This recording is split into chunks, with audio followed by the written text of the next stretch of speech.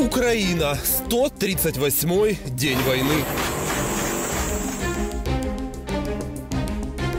С момента российского вторжения в Украину прошло уже почти пять месяцев. Поддерживая Украину в борьбе за свободу, страны Запада выделили миллиарды евро со своих бюджетов на поддержку украинской экономики, гуманитарную помощь и, главное, вооружение все, что происходит, это все-таки добрая воля этих стран и их понимание э, влияния тех процессов, которые происходят на полях сражений в нашей стране э, и на их безопасность прежде всего. В целом, западные страны пообещали Украине оказать военную помощь на сумму 80,7 миллиарда евро. Но все ли выполняют свои обещания? Своем последнем анализе поддержки Украины исследователи Кильского института мировой экономики в Германии подсчитали, что из 40 стран, которые обещали Украине военную помощь, сдержали слово и поставили обещанное вооружение в полном объеме только 10 правительств. Лидером в выполнении обещаний является Польша. В Украину прибыло 100% обещанной военной помощи. Варшава поставила вооружений на 1,8 миллиарда евро. Мы отправили танки, более 240 танков, которые Украина может обслуживать. Мы отправили почти 100 единиц бронетехники и вооружения оружие, боеприпасы, ракеты. Мы отправили в общей сложности оружие на 2 миллиарда долларов. Это огромные затраты, но мы понимаем необходимость. Это оружие нужно, чтобы остановить российское вторжение. Если говорить о сумме помощи, то Польша вторая после Соединенных Штатов Америки. Джо Байден пообещал Украине 6,3 миллиарда евро, но пока что прибыло чуть менее 40% помощи на 2,3 миллиарда евро. Соединенные Штаты лидируют. Мы предоставили Украине почти 7 миллиардов долларов помощи в области безопасности. В ближайшие несколько дней мы намерены объявить еще более 800 миллионов помощи, включая новую передовую систему ПВО для Украины, больше артиллерии и боеприпасов, противобатарейные радары, дополнительные боеприпасы для ракетной системы «Хаймарс», которую мы уже передали Украине.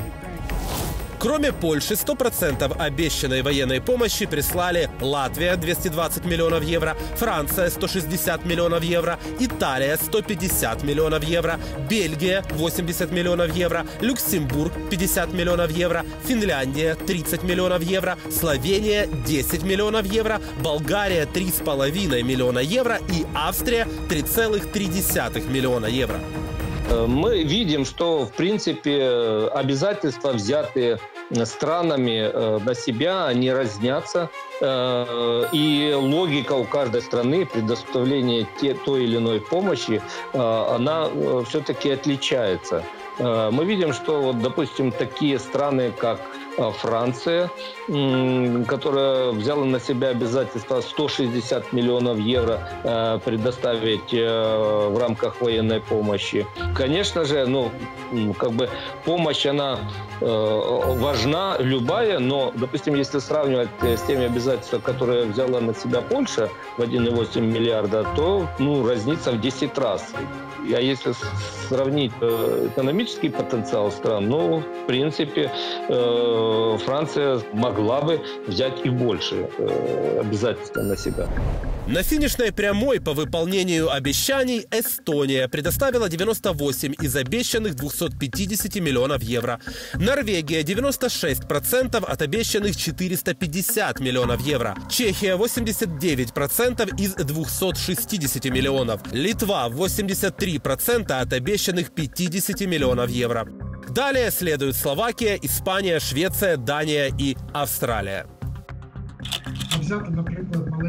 Возьмем, например, маленькую Словакию.